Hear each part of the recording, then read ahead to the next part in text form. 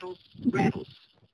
This is a rattle from a rattlesnake. I've always wondered how rattlesnake rattles make sound. Well, if you look inside, you'll see it's pretty hollow.